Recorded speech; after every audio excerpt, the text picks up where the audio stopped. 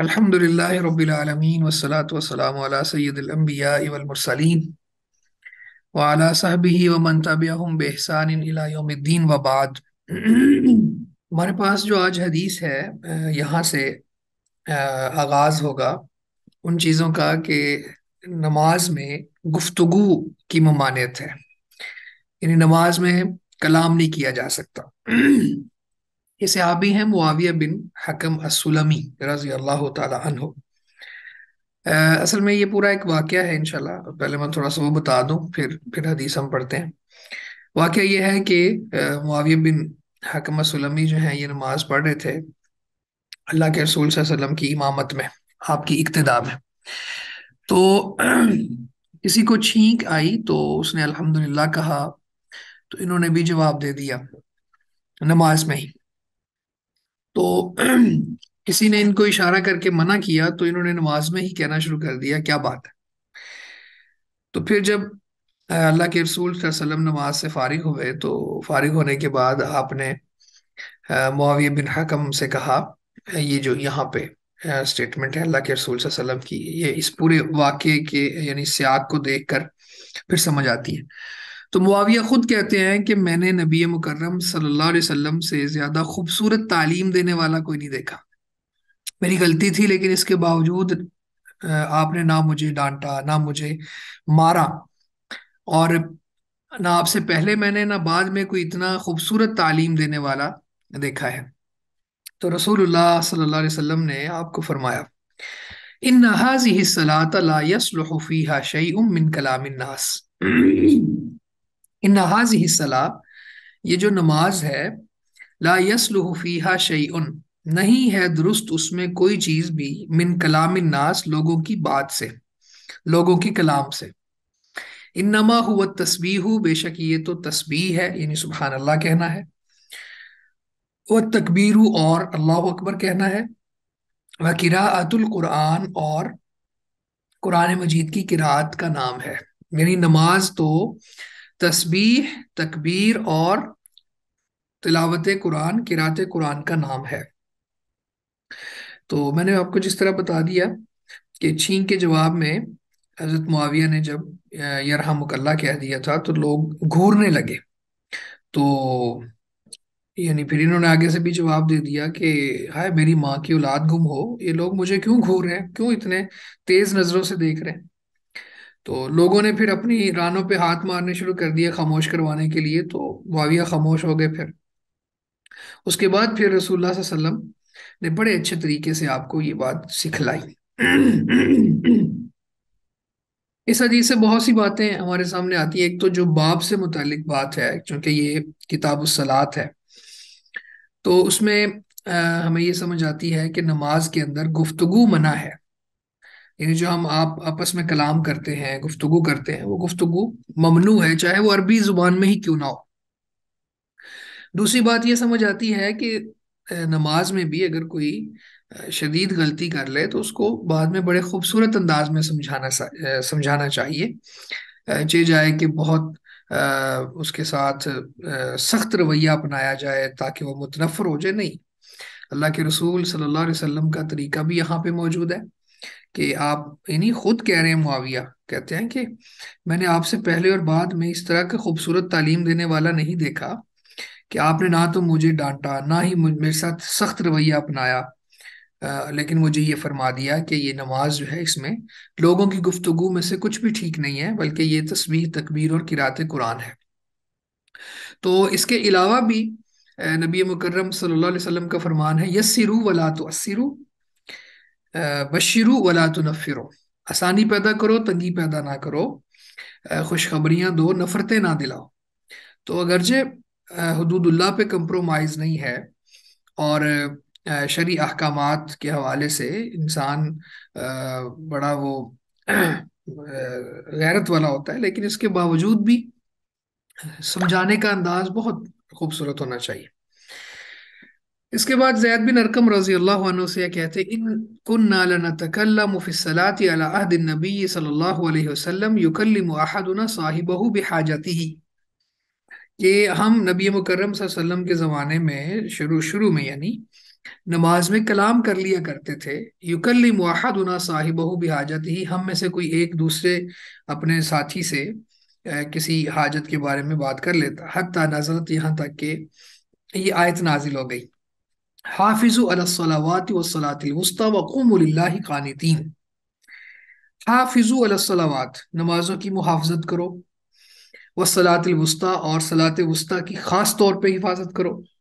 सलात वस्ता से असर की नमाज़ मुराद। वक़ूम कानितीन, और अल्लाह के लिए कानितीन का मतलब क्या है? कि फर्मा बरदारों के खड़े हो जाओ। तो जब ये आयत नाजिल हुई तो जैद बिन अरकम कहते हैं फ़ुमिर ना बिसकूत बस हमें खामोश रहने का हुक्म दे दिया गया। व नुहीना अनिल कलाम और हमें कलाम से मना कर दिया गया। तो नमाज़ में कलाम से मना कर दिया गया। तो ये शरीयत का मिजाज भी है शुरू शुरू में कुछ चीज़ें तदरीजन हराम करार पाई हैं। जैसे शराब है, इसी तरह फिर नमाज़ में कलाम भी है, इसी तरह मुतातुलनिसा भी है, और भी बहुत से मामलात हैं कि जिनको रसूल मुज़म वसल्लम की वसादत से अल्लाह रब्बुल इज़्ज़त ने तदरीजन हराम करार दिया है, यानी मुख्तलिफ़ मराहल के साथ। तो इसी तरह शुरू में कलाम जायज़ था, बाद में ममनू करार पाया। तो ये हदीस हमारे पास इस हवाले से भी है। तो यानी इन कुन्ना नतकल्लम फिस्सलात नबी सल्लल्लाहु अलैहि वसल्लम, हम नबी मुकरम सल्लम के दौर में शुरू में, यानी फिस्सला नमाज़ में कलाम कर लेते थे। युकल्लिम अहदुना साहिबहु बिहाजतिही, युकल्लिमु कलाम करता अहदुना हम में से कोई एक साहिबहु अपने भाई से, अपने साथी से बेहाजती ही अपने किसी काम के लिए। हती नजरत यहाँ के नाजिल हो गई, हाफिजू अलसलावात वसलातुस्तवाक़ुमुल्लाहि थी ये आयत नाजिल हो गई। कि नमाजों की हिफाजत करो और सलात वस्ता यानी असर की नमाज़ की खास तौर पे। तो ये जो खास तौर पे ये इसको सलात वस्ता को अलहदा किया है ना, ये सिर्फ़ शर्फ देने के लिए किया है। वरना सारी नमाजों की ही मुहाफजत लाजिम है। वकूम कानितीन और अल्लाह के लिए फर्मा बरदार होकर खड़े हो जाओ। तो जब यह आयत नाजिल हुई फ़ोमिर ना बिसकूत तो हमें नमाज़ में खामोश रहने का हुक्म दे दिया गया। खामोश रहने से मुराद क्या है? यानी जो कलाम हम करते थे नमाज़ की दुआओं के अलावा, नमाज़ के अजगार के अलावा, उससे हमें मना कर दिया गया, ठीक है? वह नहीं नानिल कलाम इसके बाद नमाज़ में अगर इमाम भूल जाए तो उस वक्त फिर क्या करना है? वन अबी हुरैरा रज़ी अल्लाह काला काला अत-तस्बीह लिर्रिजाली वत-तस्फीक लिन-निसा मुत्तफकुन अलैह ज़ादा मुस्लिमुन फ़ी सलाह अबू हुरैरा रज़ी अल्लाह अन्हु बयान करते हैं कि नबी मुकर्रम वसल्लम ने फरमाया, अत-तस्बीह अगर नमाज़ में कोई अमर पेश आ जाए तो मर्दों के लिए सुबहान अल्लाह कहना है। वह तस्फीक और औरतों के लिए हाथ पर हाथ मारना है। ये तस्फीक का माना ये होता है कि एक हाथ पर दूसरे हाथ को मारना। ये ताली बजाना नहीं है। ये एक हाथ को दूसरे हाथ के ऊपर, यानी एक हाथ की हथेली को दूसरे हाथ की पुष्ट पर इस अंदाज से लगाना कि थोड़ी आवाज़ पैदा हो जाए। तो ये औरतों के लिए है। ज़्यादा मुस्लिम मुस्लिम में ये इजाफा भी है फिर सलाती, नमाज़ में।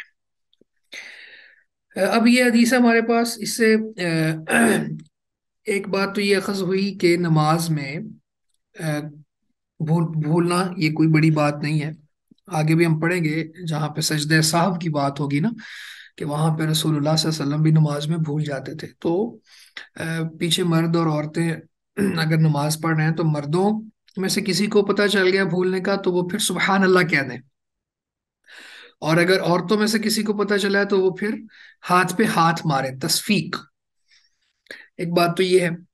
दूसरी बात ये समझ आई कि मर्द और औरतें ये मस्जिद में नमाज़ पढ़ सकते हैं।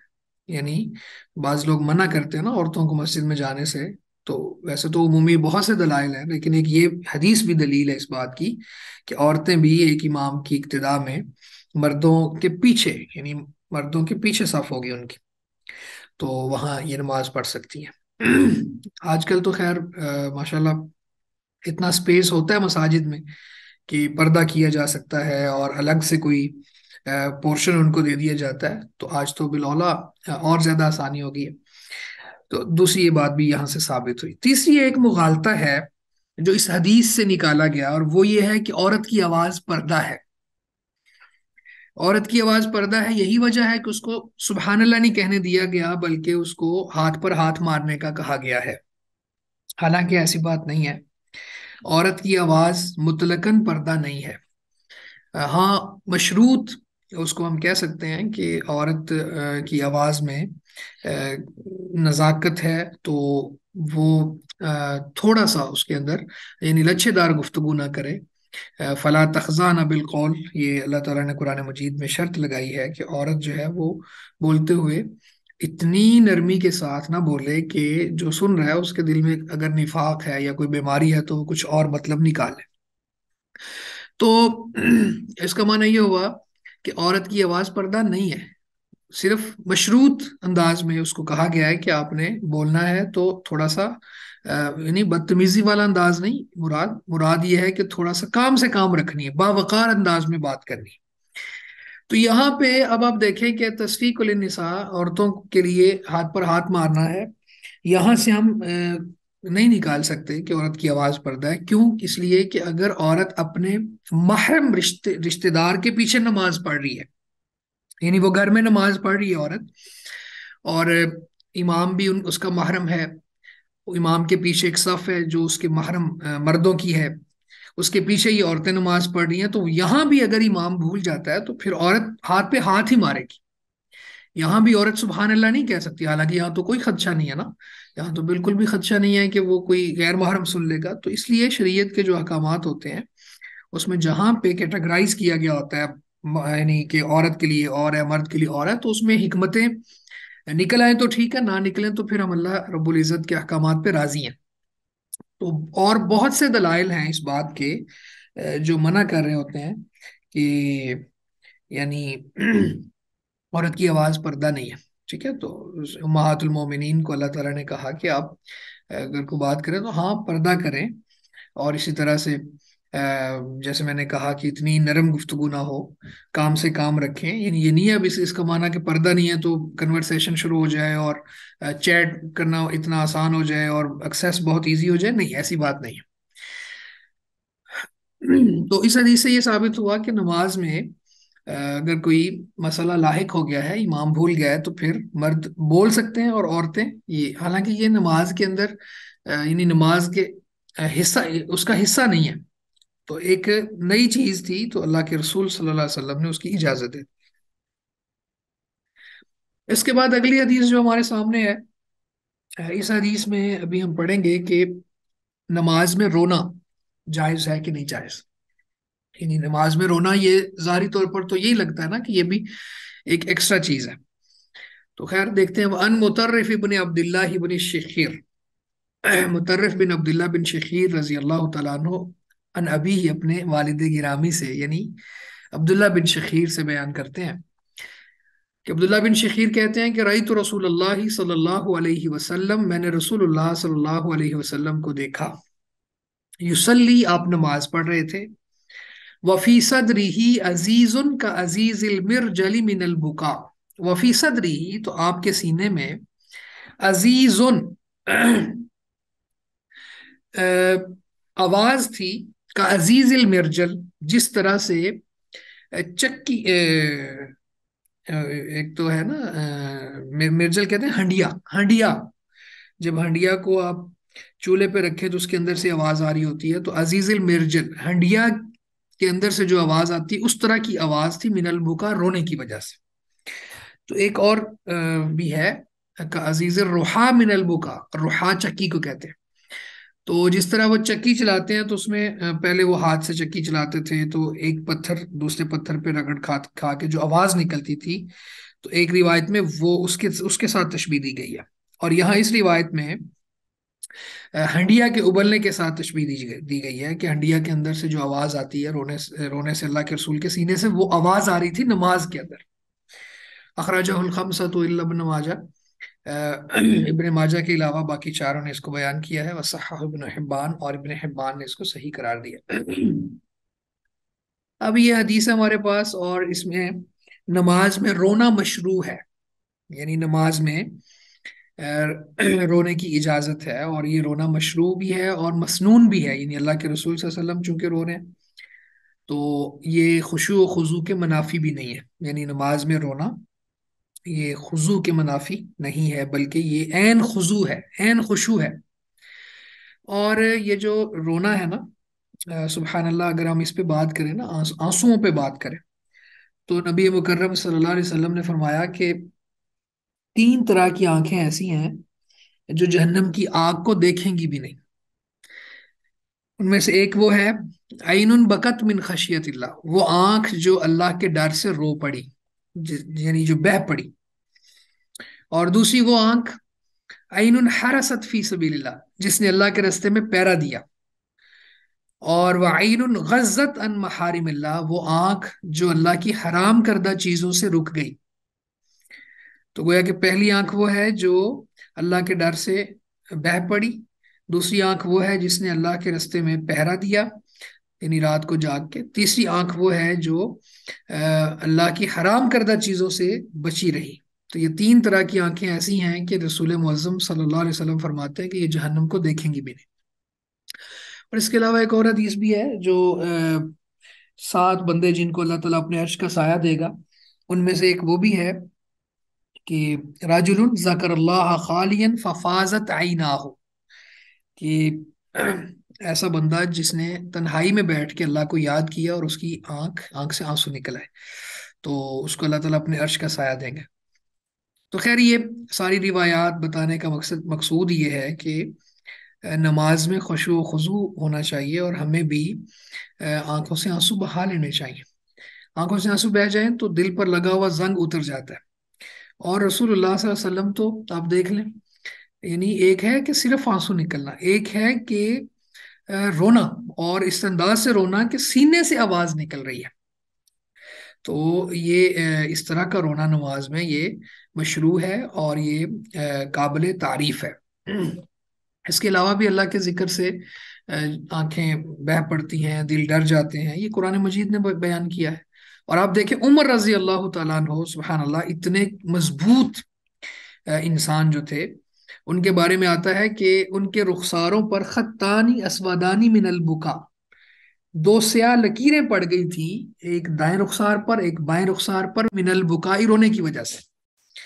यानी वो कुरान मजीद की तिलावत करके, नमाज़ में अल्लाह के सामने खड़े होके इस कदर रोते थे कि उनके रुखसारों पर आँसू ने रास्ता बना लिया था। तो बहरल ये हदीस इसमें नमाज़ में रोने की मशरूत साबित होती है कि नमाज़ में रोया जा सकता है। अच्छा इसी तरह अली रज़ी अल्लाह तहो से रिवायत है।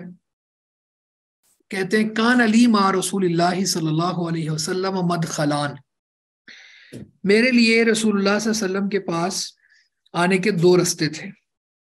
यानी दो रस्ते भी कहे जा सकते हैं, रस्तों से मुराद, यहाँ पे दो औकात हैं, यानी दो औकात। यानी मैं नबी करीम वसल्लम के पास हाजिर होता था दो औकात में। फ़कुन तो इज़ा अती तो बस जब मैं उनके पास आता वाह युसली और आप नमाज़ पढ़ रहे होते तो तनह तनह नहली तो आप मेरे लिए खंगारते, यानी तनह न का माना होता है, ये करना। आप इस अंदाज से मुझे आवाज़ निकाल के बता देते कि मैं नमाज़ पढ़ रहा हूँ। तो क्या माना है इसका? एक माना अच्छा ये मद खलान पे पहले बात कर लेते हैं। मद खलान का माना एक तो आप यूँ समझे कि ज़रफ़ ज़मान भी है और ज़रफ़ मकान भी है। ज़रफ़ ज़मान का माना हो तो ये होगा ज़मान का कि दो वक्त थे। यानी आप अब मेरे लिए दो औकात थे कि दो औकात में मैं अल्लाह के रसूल के पास हाजिर होता था, सल्लल्लाहु अलैहि वसल्लम। और अगर ये जरफ मकान हो तो फिर इसका माना होगा कि दो दरवाजे थे, कभी उस उस दरवाजे से, कभी उस दरवाजे से आता था। तो बहरहाल, दोनों ही एहतमाल यहाँ पे मौजूद हैं। तो यानी मालूम ये होता है कि अली रज़ी अल्लाह तु एक दफ़ा दिन में हाजिर होते थे और एक दफ़ा शाम या रात में हाजिर होते थे। तो फरमाते हैं कि जब मैं आपके पास आता और आप नमाज़ पढ़ रहे होते तो तनह नहली तो आप मुझे खंगार कर बता देते। यानी आप मुझे बता देते ये हज़रत अली आपको पता है रसूल मुज़म के चचाजाद भी थे और आपके दामाद भी थे। तो बड़ी मोहब्बत थी। तो और फिर आजकल के दामादों के लिए भी सबक है इसमें कि अपने ससुर की एक तो बहुत ज़्यादा इज़्ज़त करनी मकसूद है और दूसरा ये है कि उन, उनकी जियारत भी करनी चाहिए यानी वालदेन को मिलना और अपने अः यानी जो ससुराली वालदेन है उनको भी मिलना चाहिए। तो दूसरी बात फिर इसमें ये साबित हुई हमारे जो हदीस यानी इस बाब से मुतालिक वो ये है कि अगर नमाज़ कोई शख्स पढ़ रहा है तो फ़र्ज़ माल बिलफर्ज कोई दरवाज़ा नोक कर रहा है तो वो थोड़ा सा उसको बताने के लिए इस तरह कर सकता है। ये कंगारना इसको कहते हैं। यानी अब नमाज़ में होने के बारे में आगाह फरमाना।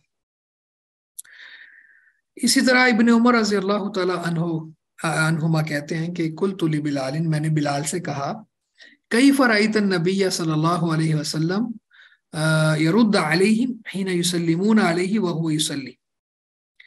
कि जब नबी मुकर्रम वसल्लम नमाज़ पढ़ रहे होते थे तो किस तरह से जवाब देते आप सलाम का जब उन पर सलाम किया जाता यानी नमाज़ कोई शख्स पढ़ रहा है तो फिर कोई सलाम करे तो उसका जवाब कैसे देते थे? ये सवाल था अब्दुल्ला बिन उमर रज़ी अल्लाह तहो का बिलाल से। तो बिलाल ने आगे से जवाब दिया यकूल हा कजा वो इस तरह करते थे। काल यकूलू का माना कहना भी होता है और करना भी होता है। तो इस तरह वो करते थे, वह बासा तकफ़हू और उसने अपनी हथेली को फैला दिया। यानी हथेली को थोड़ा सा ऊपर हिला के सलाम का जवाब दे दिया। तो नमाज़ के दौरान सलाम का जवाब दिया जा सकता है।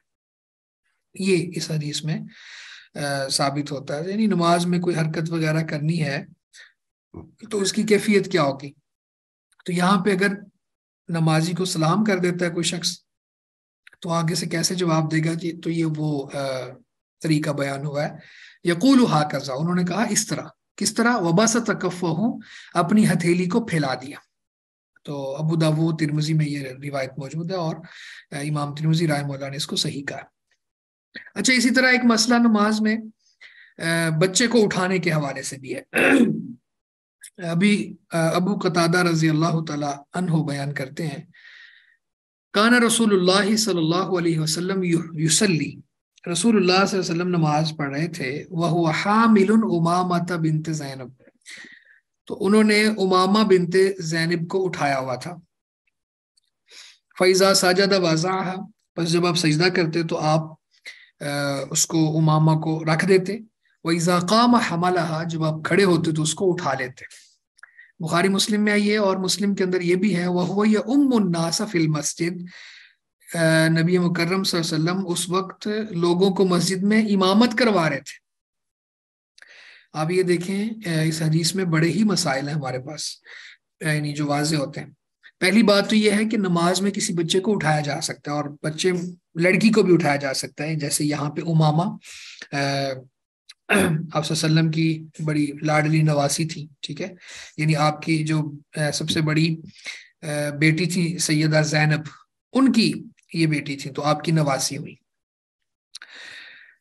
अच्छा अब एक बात तो ये, और फिर यह है कि जब सजदे में जाते तो रख देते और जब दोबारा खड़े होते तो फिर उठा लेते और फिर तीसरी बात जो सबसे अहम है, वो ये है कि इमामत के दौरान आप लोगों के इमाम थे और उस वक्त आप उमामा को उठा रहे थे। आज मुझे आप बताएँ कि हमारी मसाजिद के आयमा अगर अपनी बेटी को या अपनी नवासी को मस्जिद में ले आए और वो इस तरह करें तो लोग तो मुआफ नहीं करेंगे। लोग, लोगों का तो माजल्ला तख्ता मश्क होते हैं हमारे आयमा मसाजिद। तो बड़ी समझने की बात है कि अलैहि वसल्लम ने जब इतनी वसत दी है तो ये खुशु खुजू के मुनाफी फिर नहीं होगा। यानी बच्चों का मस्जिद में आना और ख़ास तौर पे इमाम का बच्ची को उठा के नमाज़ पढ़ाना। तो आप जरा ये देखें कि उस माहौल में और फिर नबी मुकर्रम वसल्लम से ये बात साबित भी है तो फिर हमारे यहाँ पे क्यों इतना वावेला किया जाता है कि बच्चों को मस्जिद में नहीं लेके आना? तो इसी तरह घर में अगर खातून कोई नमाज़ पढ़ रही है, बच्चा रो रहा है तो वो बच्चे को उठा सकती है। बच्चा नहीं भी रो रहा तो उठा सकती अब उमामा को घर में भी तो छोड़ के आ सकते थे, कोई लालच दे के आ सकते थे कि नहीं नहीं, इसको मैं मस्जिद में नहीं लेके जाऊ, जाऊँगा क्योंकि मस्जिद में खल, नमाज़ में खलल आएगा, नमाजी क्या कहेंगे? नहीं, ऐसी बात नहीं है। एक दफ़ा रसूलुल्लाह सल्लम मिंबर पे खुतबा दे रहे थे और हसनैन करीमैन में से बाज कोई, उसको थोड़ी ठोकर लगी और वो गिर गए तो आपने खुतबा छोड़ के आके उसको उठा लिया। तो यानी हम तो इतना वो कर देते हैं कि दीन इतनी मुशक्कत का नाम है और इतने बोझ का नाम है, नहीं, ऐसी बात नहीं है। तो अपनी फैमिली के साथ वक्त गुजारना और फिर जब नफल नमाज़ घर में पढ़ी जा रही हो तो उस वक्त उठा लेना और ये फ़र्ज़ नमाज़ है और बाजमात अल्लाह के रसूल पढ़ा रहे हैं नमाज़ तो वहाँ पे भी उठा रहे हैं। तो ऐसी आप, यानी उसूल ये निकला इस हदीस से कि ऐसी हरकत नमाज़ में, जो अलैहि वसल्लम से साबित है, वो नमाज़ के खुशु खुजू के मुनाफी नहीं है। मैं फिर ये कह देता हूँ कि ऐसी हरकत या ऐसा कोई अमल जो अलैहि वसल्लम से साबित हो नमाज़ में तो वो नमाज़ के खुशु खुजू के मुनाफी नहीं है। आज हम इसीलिए कहते हैं ना, बच्चों को मस्जिद में ना आने दो कि खुशु खुजू के मनाफी है। बच्चे को उठा के नमाज़ क्यों पढ़ू? मेरा, मेरी नमाज़ मुतासर होगी। नहीं, ऐसी बात नहीं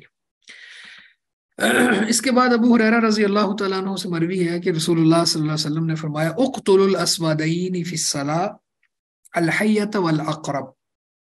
दो सया चीज़ों को नमाज़ में कत्ल कर दो। उक्तुलु, कत्ल कर दो। अल दो सया चीज़ों को फ़ी सलाती नमाज़ में। अलहैयत वल अकरब। एक सांप और दूसरा बिच्छू। अच्छा इसमें बिच्छू तो स्याह होता है।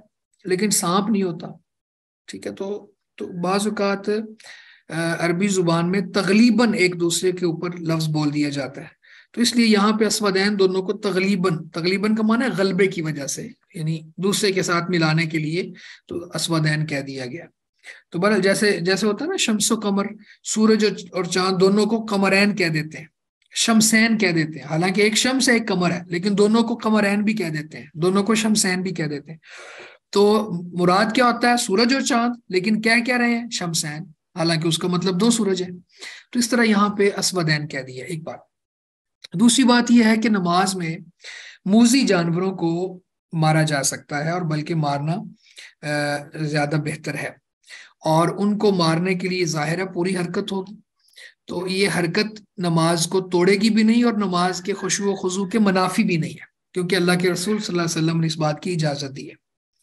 तो सांप और बिच्छू पर क्यास करते हुए हर वो चीज़ जो यानी आप ये समझें कि तकलीफ़ दे है और आ, मतलब मूजी जानवर उसको कहा जा सकता है तो उसको मार मार मारा जा सकता है।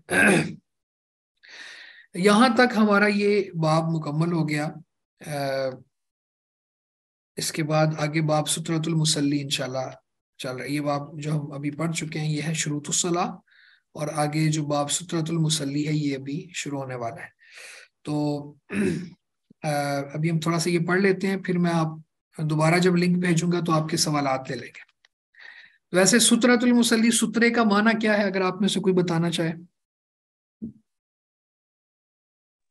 सर सजदे से पहले नमाज़ के आगे कोई चीज़ रखने के लिए, ताकि सजदा जो है वो सेफ़ हो, किसी चीज़ के आगे ना हो। ठीक है, बिल्कुल सही है। यानी, सुतरा उस उस चीज़ को कहते हैं जिसे नमाजी, नमाज़ के दौरान अपने सामने रखता है कि कोई उसके सामने से गुजर ना जाए। गुजरे तो सुतरे के उस तरफ़ से गुजरे। तो इसकी हमत यह है कि नमाजी जो है उसकी नज़र मरकूज रहती है सामने। वैसे सुतरे का लफ्जी माना आड़ और रुकावट भी है। तो बहरहाल ये बाकायदा इंशाल्लाह इसके मसाइल हैं, कुछ वो हम अभी देख लेते हैं। पहली बात तो ये है कि ये हमारे पास हदीस है अबू जुहैम इबन हारिस रज़ी अल्लाह अनहु की। कहते हैं कि रसूलुल्लाह सल्लल्लाहु अलैहि वसल्लम ने फरमाया, लो मारु बैन मुसल्ली माज़ा अलैहि मिनल इस्म लो अगर जान ले, अल मारू गुजरने वाला, बैन यदैल मुसल्ली नमाजी के आगे से, माज़ा अलैहि मिनल इस्म क्या है उस पर गुना यानी कि उस पर कितना बड़ा गुना है? अगर ये वो जान ले, लकान यकिफ अरबाइना अलबत्ता ये कि वो खड़ा रहे चालीस साल खैर मिन यमुर्र यदही, उसके लिए बेहतर है कि उसके आगे से गुजरे। यानी नमाजी के आगे से गुजरने वाला अगर ये बात जान ले कि गुजरने का गुना कितना बड़ा है तो वो आगे से गुजरने की बजाय चालीस साल तक उसको खड़ा रहना पड़े तो वो खड़ा रहे। तो बुखारी मुस्लिम की रिवायत है वल्लफ्जु ये बुखारी और बुखारी की अल्फाज है। और वाक़ा फिल बज़ार और मुसनद बाज़ार में ये फिलवजल आखिर एक और वजह से मौजूद है। उसको क्या उस, उसमें अल्फाज है अरबाइन खरीफा ठीक है? तो चालीस साल। इसलिए यहाँ पे चूँकि अरबाइन का लफ्ज था तो साल नहीं लगा लगा लगे थे साथ यानी खरीफा नहीं था। तो फिर यहाँ एहतमाल था कि चालीस दिन है, चालीस साल है, क्या है, चालीस महीने हैं। लेकिन ये मुस्ंद बाज़ार की हदीस में अरबाइन खरीफन आ जाने से फिर इसको चालीस साल के साथ मिला दिया कि वहाँ भी अरबाइन से मुराद चालीस साल ही। तो आप ये देख लें कि नमाजी के आगे से गुजरना कितना बड़ा गुनाह है, पहली तो ये बात है। अच्छा ये सुतरतुल मुसल्ली की पहली हदीस इसलिए है कि नमाजी के आगे जो सुतरा होगा सुतरे के दूसरी तरफ़ से जितने लोग जो मर्ज़ी गुजरते रहे कोई कोई हार्मफुल नहीं है ये। कोई उसमें गुजरने वाले के लिए भी गुनाह नहीं है और जो नमाज़ पढ़ रहा है, उसकी नमाज़ में भी खलल वाक़ नहीं होगा। तो ये सुतरे की अहमियत है। अच्छा सुतरा कितना होना चाहिए? आयशा रज़ी अल्लाह तला कहती हैं सुल नबी वसल्लम नबी वसल्लम से पूछा गया, फ़ी गजबत तबूक गजब तबूक के दौरान अनसुतरतिल मुसल्ली, नमाजी के सुतरे के बारे में। फ़काला तो आपने फरमाया मिसल मुआखिरत रहल। ये सुतरा जो है कजावे के पिछले हिस्से में आ, जो टेक लगाने के लिए बना होता है ना उतना होना चाहिए। यानी कजावे के पिछले हिस्से जितना ऊँचा हो। आप यूँ कह लें कजावे के पिछले हिस्से जितना ऊँचा हो। अच्छा तो इससे ये ये कजावा जो है ऊँट पर रखा जाता था और उसके ऊपर बैठने वाला उसके पीछे टेक लगाता था। यानी उस टेक को कहते हैं। तो आपने उस माहौल के एतबार से, चूँकि वो बड़ा मारूफ था और आम था तो इस हवाले से फिर वो लकड़ी जो है जिस पर सवार टेक लगाता है, उसको कह दिया यहाँ पे। वो तकरीबन तीन हाथ लंबी होती थी और इससे कम चौड़ी। थोड़ी कम चौड़ी होती थी और तीन हाथ लंबी होती थी उमूमन। तो तकरीबन आप इसको कोई डेढ़ फुट के करीब कह लें तो इनशाला उम्मीद है कि उतना हो, होगा। तो तो आपने जो मिनिमम आसानी के साथ जो आदमी को मैसर हो उसकी मकदार ये बता दी कि कजावे की पिछली टेक जितना होना चाहिए। इसी तरह अगली हदीस जो है सबरत बिन माबद अल जहनी रज़ी अल्लाह काला काला अलैहि वसल्लम लयस्ततिर अहदुकुम फ़ी अलबत्ता चाहिए कि सुतरा इख्तियार करे। अहदुकुम, तुम में से कोई एक फ़ी सलाती नमाज़ में वलो बिसहमिन अगरचे तीर के साथ ही क्यों ना हो? यानी तीर का ही सुतरा क्यों ना हो? सुतरा उसको इख्तियार करना चाहिए। तो अभी यह है कि तीर तो बहुत बारीक होता है, ठीक है? तो लंबाई में अगरचे वो मौखरत रहल के से ज़्यादा बड़ा हो, लेकिन उसकी जो मोटाई है या उसका आरज है ये चौड़ाई जिसको हम कहते हैं, वो तो बहुत कम होती है। लेकिन इस हदीस से ये बात साबित हो गई कि अगर वो नहीं है आपके पास, यानी उस तरह की कोई चीज़ नहीं है तो फिर तीर है तो तीर को भी सुतरे के तौर पर इख्तियार किया जा सकता है। तो यानी इसमें इसमें भी आप देख लें कि सुतरा इख्तियार करने की कितनी ज़्यादा अहमियत है। तो अमूमन होना ये चाहिए कि दीवार को सुतरा बना लें या सुथरा मिल जाता है वो आगे रख लें या कोई भी इस तरह की चीज़ जो इतनी ऊँची हो उसको आगे रख लिया जाए। अगर ना मिले तो कुछ भी रखा जा सके सकता है ताकि सुतरा हो। उससे फिर एक आ, मैंने कहा तवज्जो मरकूज रहती है एक पॉइंट पर और फिर नमाज़ में खलल भी वाक़ नहीं होता। और ये नमाज़ के लिए एहतमाम भी है। यानी नमाज़ पढ़ रहे हैं तो थोड़ा एहतमाम भी करना चाहिए। इसी तरह अगली हदीस अबू जर रज़ी अल्लाह तु से है। ये गफ़ारी रज़ी अल्लाह तु कहते हैं कि वसल्लम ने फरमाया यकतला मर मुस्लिमी इज़ालम यकुन रहल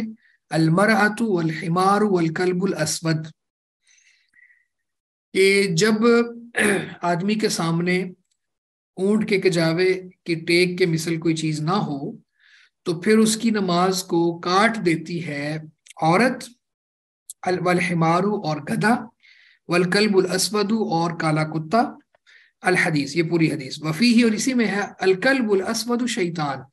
जो काला कुत्ता है, सिया कुत्ता है, वो शैतान है। वाला हूँ और ये मुस्लिम किया और मुस्लिम में ही नबी हुरैरा रज़ी अल्लाह तहून कल्ब।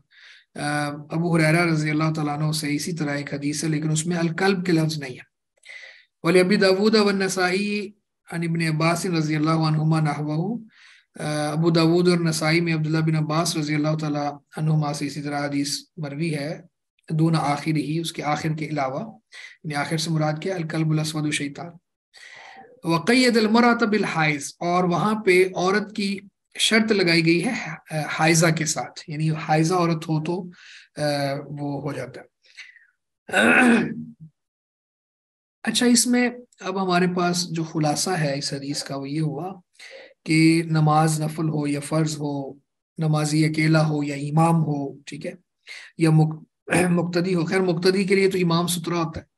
तो इमाम के आगे से अगर कोई गुजरे तो फिर नमाज़ टूट जाएगी। तो इन तीन चीज़ों में से कोई एक चीज़ गुजरे तो फिर नमाज़ फासिद हो जाएगी। तो उसमें एक तो ये औरत है दूसरा हिमार है गदा और तीसरा सिया कुत्ता है। अच्छा इसमें यह है कि एक चीज़ है कि सामने मौजूद होना और एक है मुरूर।